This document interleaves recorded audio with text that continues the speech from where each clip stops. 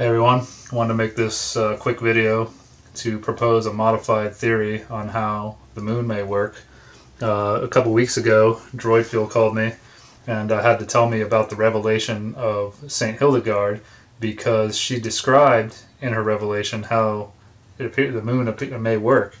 And I just want to read this clip from her revelation that states, As long as the moon waxes lit by the sun, it receives fire from the stars as well as from the sun. And while it wanes, it infuses its fire into the stars, but not into the sun. For that stands out as it were like a princess, and it is always in only one state. But if the moon is completely full, then it releases its light and transfers it to the stars, and thus the stars become brighter. Now, this is really interesting because I, I, have been really busy in the, in the past couple months. Uh, a lot has changed for me in my personal life, and I haven't had time to keep up with doing moonlight tests. But I did find that sometimes the moon moonlight appeared to have a warming effect, and sometimes it appeared to have a cooling effect. And I was trying to figure out if I was doing something wrong. I was always trying to keep my exposure the same uh, and, and use the same area when I was doing these tests and I was always using something that was completely vertical to try to block the the or to block the moonlight and create shade, so that there wasn't an object over the uh, whatever I was testing to keep heat from escaping. But this may have answered the the uh, the question of why this was happening. It may have to do with the phases. So here's the theory. During the waxing phase, from new moon to full moon, the moon, as St. Hildegard described, is taking fire or energy from the sun and from the stars. And then that logically would create a cooling moonlight effect. So during the waxing phase of the, phase of the of the moon, there's a cooling moonlight effect.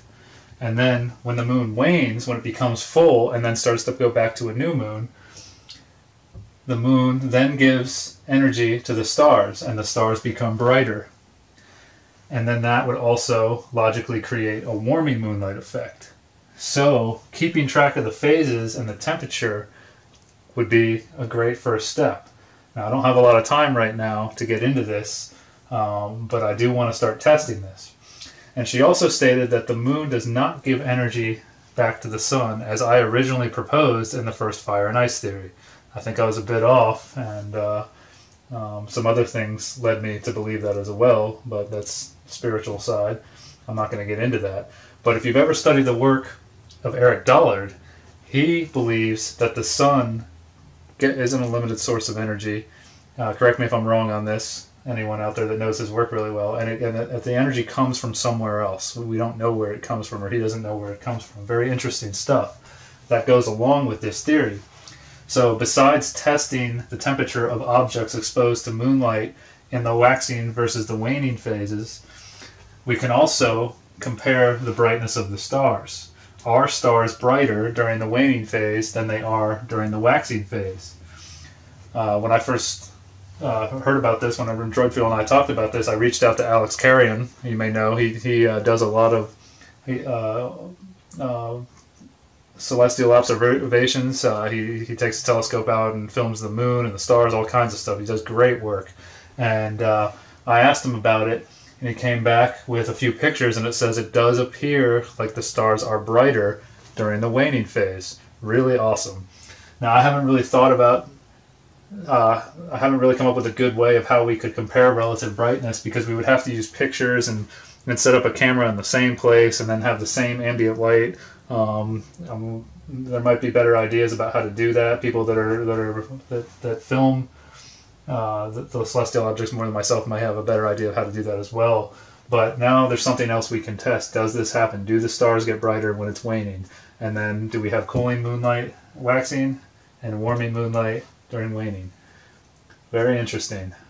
And uh, it goes along with the idea that the moon is some type of capacitor, some type of storage device for energy. It's a, it's a system that works a little bit differently than I originally proposed, and uh, that's what we're here to figure out is how this thing works and what's really going on. If the mainstream belief is not true. So, until next time, something to test. I'm hoping to get into this soon, but uh, like I said, I'm pretty busy. Now I'm a married man, so uh, life's changed for me a lot. So uh, until next time, peace.